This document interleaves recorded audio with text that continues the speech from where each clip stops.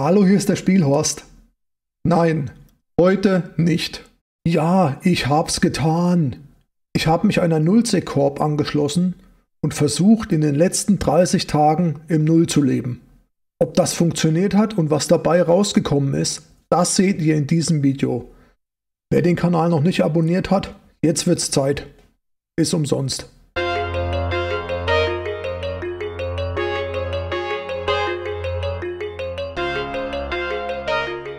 Vielen Dank an dieser Stelle erstmal an die Corp, Space Colony, an die Ali, Synergy of Steel und an den Anführer Erzos Vaters. Natürlich auch an Zeronin fürs Vermitteln. Für dieses Mal habe ich eine kleine Präsentation vorbereitet. Ich werde da versuchen, ziemlich schnell durchzugehen, um das Video nicht unnötig in die Länge zu ziehen. Wenn jemand Fragen dazu hat, dann entweder im Livestream stellen auf Twitch oder in meinem Discord oder hier einfach in den Kommentaren, da wird euch geholfen. Ich werde euch einfach kurz einen Überblick geben. Warum habe ich das Experiment durchgeführt? Wie habe ich es durchgeführt? Was habe ich genau gemacht und was ist dabei rausgekommen? Warum habe ich diesen Test durchgeführt? Ich hatte diverse und auch wiederholte Einladungen ins Nullsec, sowohl für mich als Spielhost-Charakter als auch für alle Mitglieder der Funky Friends. Dabei gab es viele, sehr, sehr viele Fragezeichen bei allen von uns und für mich unglaubliche Aussagen, wie beispielsweise selbst Tag 1 Charaktere finden hier schnell rein. 2 Milliarden Mining-Erträge habe ich pro Tag. Kopfgeldticks von 30 Millionen sind keine Seltenheit. Oder wer einmal hier war, der will nie wieder weg. Wie habe ich den Test durchgeführt? Ich habe einen anderen Charakter benutzt, mit abgeschlossenen Karriereagenten, 1,5 Millionen Skillpunkten, davon 800.000 frei verfügbaren Skillpunkten, 80 Millionen ist Gesamtbesitz und 40 Millionen ist Kontostand. Ich war 99% undercover unterwegs. Das heißt, weniger als eine Handvoll Spieler haben den Test überhaupt mitbekommen, waren eingeweiht. Ich werde aber allen Spielern ehrlich kommunizieren, wer ich bin und was ich getan habe.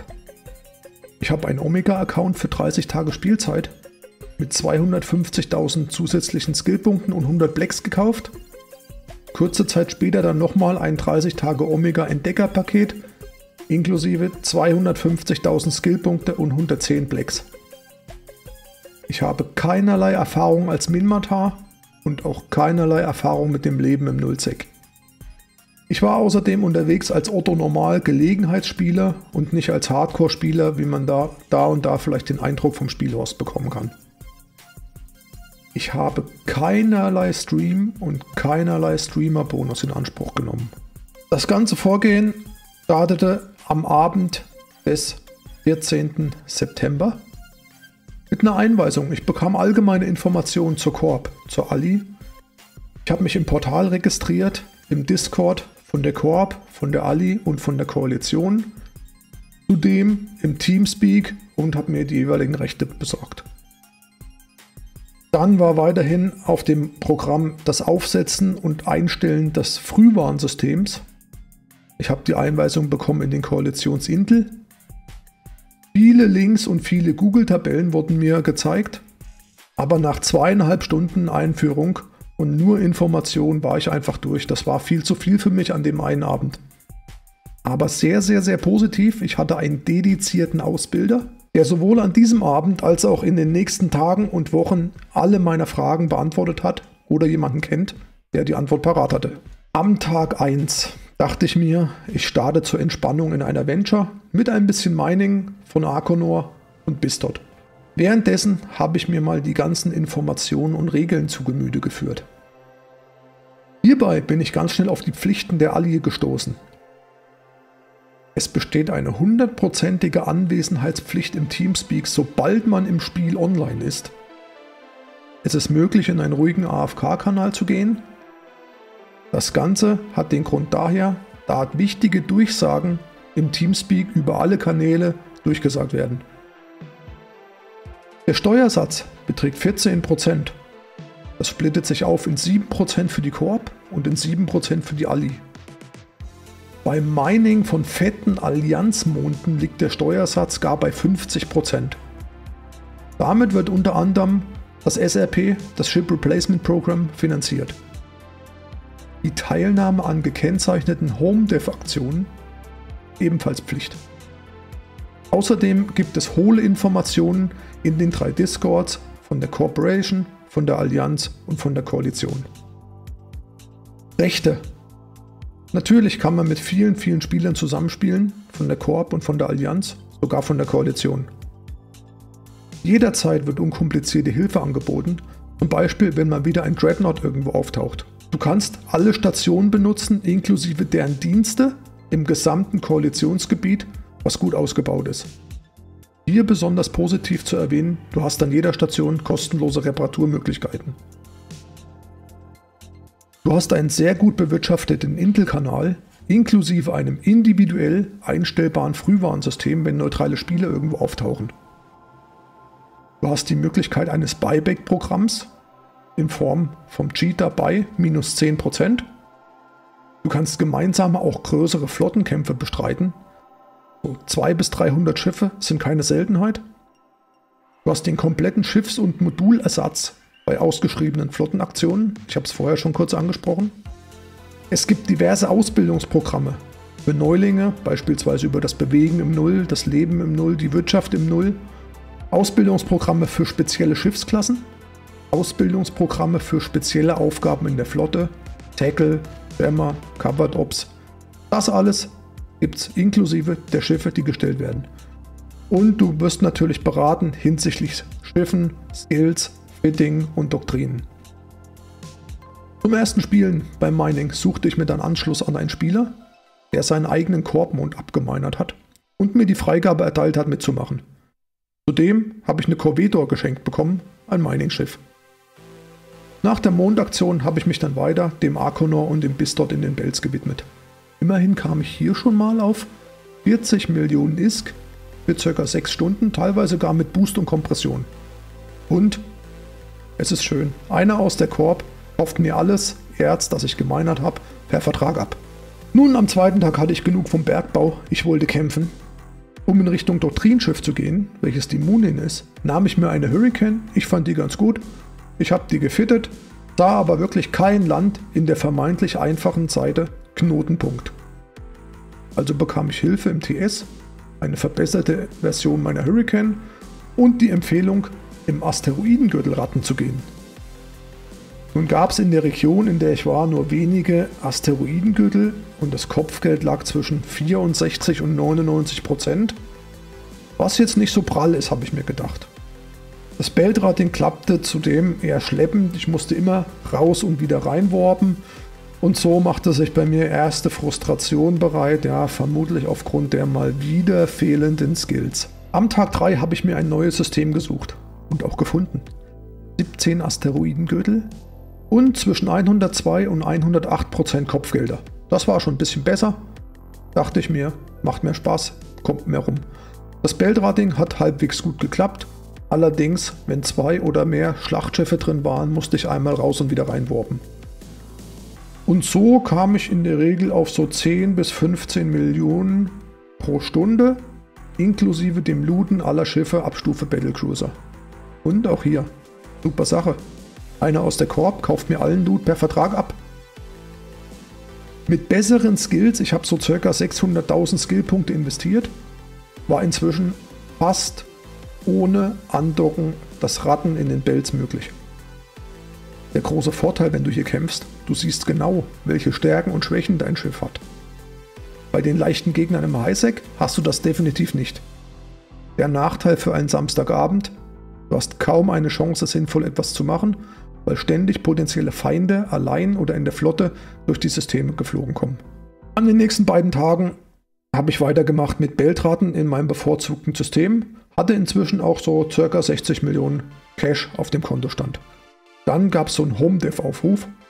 Ich wurde sogar mit eigenem Namen im AFK Teamspeak-Kanal angesprochen. Natürlich habe ich dem Aufruf gefolgt. Ich bin in das genannte System gesprungen, aber dort angekommen war die Aktion bereits vorbei und ich stand mit meiner Hurricane als einziger neben vielen, vielen Cerberus-Schiffen. Danach habe ich meinen Ausbilder im Teamspeak um Rat gefragt.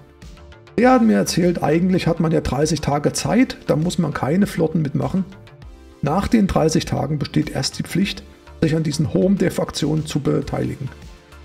An diesen Aktionen dürfen allerdings ausschließlich Doktrinschiffe geflogen werden. Das heißt, da habe ich mit meiner Hurricane nichts zu suchen. Außerdem wurde mir nahegelegt, ab sofort auf das Einsteiger-Doktrinschiff zu skillen. Das ist die Sköde. Zu dem Zeitpunkt hatte ich 22 Tage Skillzeit zum Einsteigen in dieses Fitting. Ich hätte mir hier vielleicht gewünscht, dass ich als Neuling nicht direkt mit Namen im AFK-Kanal angesprochen werde. Dann hat mich mein Ausbilder mit einem Fitting-Experten bekannt gemacht. Der hat mir wirklich sehr, sehr viele nützliche neue Informationen gegeben, inklusive der direkten Info, dass die Hurricane zum Ratten nicht zu gebrauchen ist. Trotzdem haben wir dann gemeinsam die Hurricane überarbeitet, endlich mit mehr Reichweite Außerdem meine Skillpunkte neu priorisiert in Richtung Gila und danach erst die Doktrin-Sküde. Ich bekam zudem ein Implantat-Cent geschenkt, was mir das Skillen ein bisschen einfacher gemacht hat.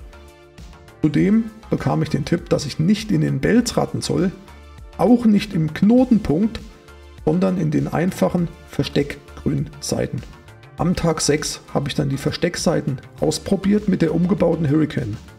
Das ging eher schlecht als recht. Über 10 Kilometer Entfernung habe ich die Gegner teilweise mit einem Schuss weggemacht, aber unter 10 Kilometer ging gar nichts mehr mit den Waffen, außer mit den Drohnen.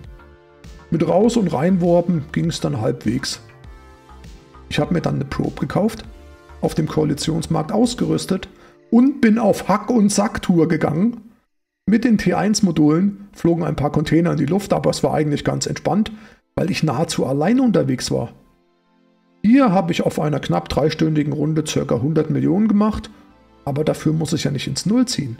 Nun bekam ich das Angebot, hinter einem rattenden Korbkollegen zu looten und zu salvagen. Also habe ich mir eine Salvage Trasher gebaut und bin in die gebookmarkten Seiten geflogen, habe die MTU ausgepackt, das Zeug eingesackt und gesalvaged. Das Ganze habe ich parallelisiert mit zwei MTUs, so konnte ich immer eine Seite nach der anderen bearbeiten.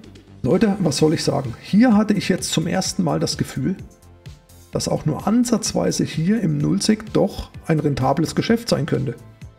Nach sechs Seiten hatte ich knapp 100 Millionen Anzeigewert, was einem Vertragswert von ca. 61 Millionen entsprach. Und das in nur knapp über zwei Stunden mit diversen Unterbrüchen aufgrund von Feindaktivitäten. Am neunten Tag habe ich zum ersten Mal Mondmining am Allianzmond ausprobiert. Ich glaube, das war ein R64-Mond. Ich habe 225 Millionen in circa zweieinhalb Stunden gemacht. Nach Abzug der 50% Steuern war der Verkaufspreis dann insgesamt ca. 80 Millionen, was für diesen Zeitraum wirklich super ist. Ich habe das Zeug trotzdem aufbereitet und in Einzelverkäufen probiert zu verkaufen. In den nächsten Tagen habe ich weiter Mining, Mining, Mining probiert, außerdem ein bisschen Beldraten. Ich wurde in meiner Covedo abgeschossen, als ich mit meinem Ausbilder im Teamspeak gesprochen habe und abgelenkt war. Und das auch noch im Heimatsystem. Aber das Schiff wurde mir direkt ersetzt. Zudem habe ich noch ein bisschen Erkundung betrieben, wo ich einen Packard MTU Bauplan fand. Leider gab es die Materialien im Koalitionsmarkt zu der Zeit nicht, also wollte ich auf nach Cheetah, um mir das Zeug selbst zu holen. Aber an einem Samstagnachmittag unmöglich und so verzeichnete ich meinen ersten Tod. Ärgerlich, weil ich immer noch die Implantate im Klon hatte.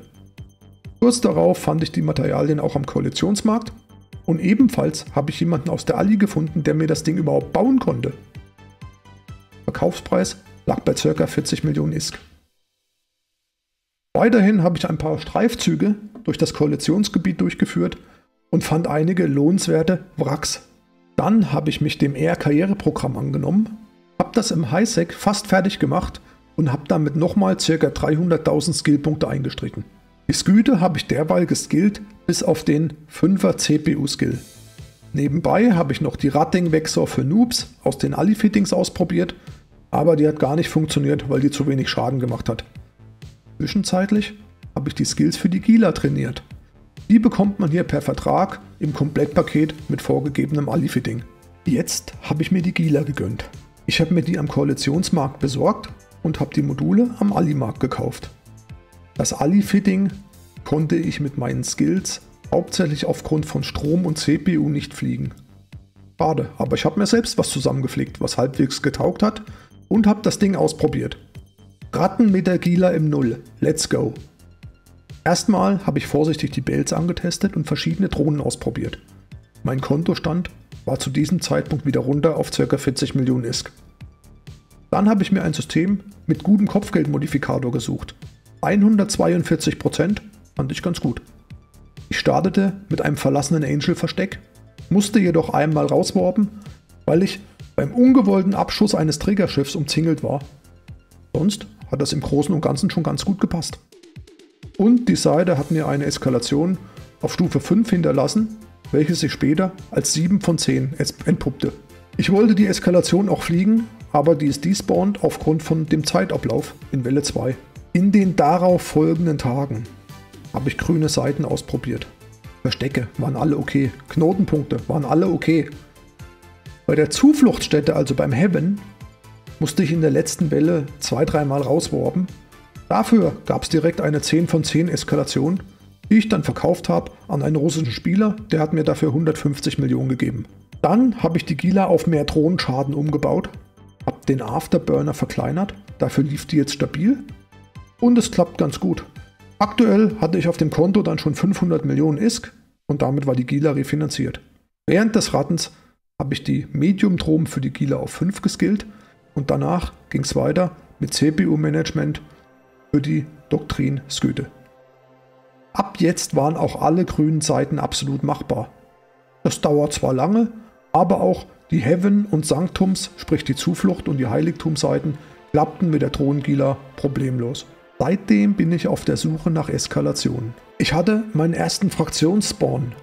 Ich hatte ein Domination Ballistic Control System, das für 110 Millionen weggeht. Ich habe das mal ca. 15 Millionen unter dem aktuellen Preis eingestellt. Innerhalb von wenigen Stunden war das verkauft. Ich habe den Kontostand von einer Milliarde ist geknackt. Kopfgeldauszahlungen fallen inzwischen auch schon höher aus. Valkyrie 2 und Minmata Drohnenskills habe ich durchgedrückt auf 3 und weiter war ich unterwegs mit Ratten in Richtung Eskalation.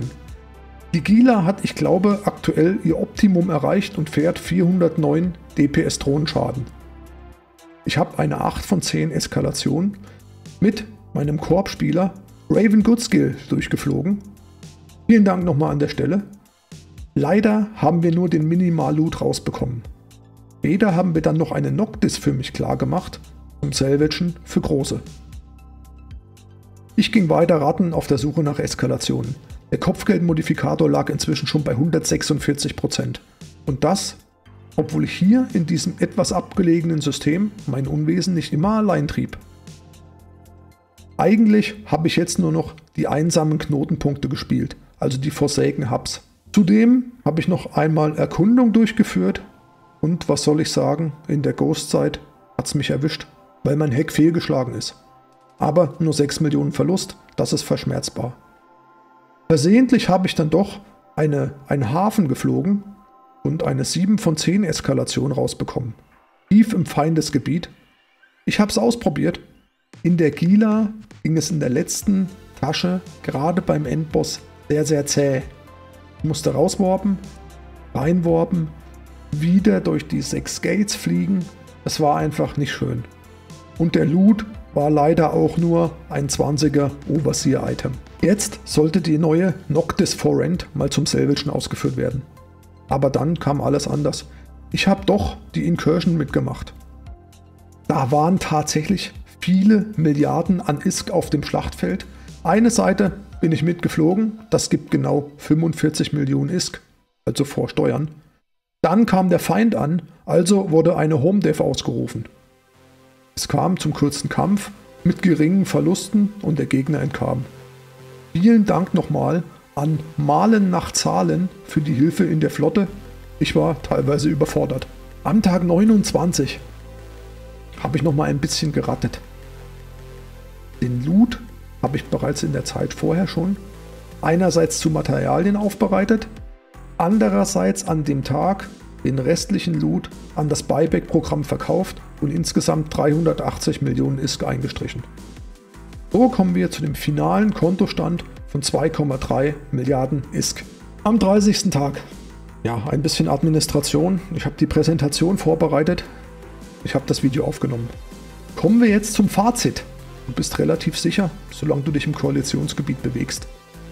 Wenn du außerhalb gehst, bist du auf dich allein gestellt und auf der Abschutzliste. Es gibt viel Feindbewegung, das wird aber durch das Frühwarnsystem abgemildert. Allerdings musst du trotzdem oft docken gehen. In den 30 Tagen habe ich als mehr oder weniger Neuling fast zweieinhalb Milliarden Ists gemacht. Größtenteils durch Kopfgelder und Bankauszahlungen. Das muss man sich mal überlegen. Zweieinhalb Milliarden in 30 Tagen. Du kannst mit ein paar coolen Typen hier zusammenspielen. Es sind jeden Tag teilweise auch mehrere PvP-Aktionen. Bei vielen wird auch das Schiff gestellt. In meinen 30 Tagen Test waren genau vier Home Dev Aktionen, also Pflichtaktionen, die man mitmachen muss, die ich in-game mitbekommen habe. Hier steht noch drei, aber es waren vier. Dann möchte ich mal ein, ein Wort zu den Aussagen verlieren, die ich oben schon gestellt habe und damit den Bogen spannen. Tag 1 Charaktere finden schnell rein. Das ist mit dem Ausbildungsprogramm absolut möglich. 2 Milliarden Mining-Erträge pro Tag? Naja, sage ich, naja. Mit einigen gut geskillten, ausgeskillten Charakteren, also mehreren Accounts, ist das möglich. Sicher auch in weniger als äh, einen Tag die 2 Milliarden zu machen, aber für einen Neuling sicher nicht. Da braucht man schon viel Erfahrung dafür. 30 Millionen Kopfgeldticks sind absolut machbar. Du brauchst die Skills und ein gutes Schiff und dann ist es absolut möglich. Wer einmal hier war, der will nie wieder weg. Das ist eine individuelle Entscheidung. Das muss jeder für sich selbst entscheiden. Nun möchte ich noch ein großes Dankeschön verlieren an meinen Ausbilder Jerodin, der wirklich immer ein offenes Ohr für mich hatte, an Avicularia für die Einführung, an Fixie Hart für die Fitting-Tipps und Optimierung, an Kammerjäger NF, dass ich ihm hinterherluden und salvagen durfte, und an Tutom T sowie Grimly für die weiterführenden Tipps und Tricks im Teamspeak. Und an alle anderen, die ich vergessen habe. Das war es jetzt mit diesem Video. Wenn es euch gefallen hat, lasst einen Daumen nach oben da. Wenn jemand das Leben im Null auch mal ausprobieren möchte, bitte einfach melden und ich stelle Kontakt her. Wenn ihr mehr sehen oder mal mitspielen wollt, dann schaut auf meinem Twitch-Kanal vorbei. Gemütliche Grüße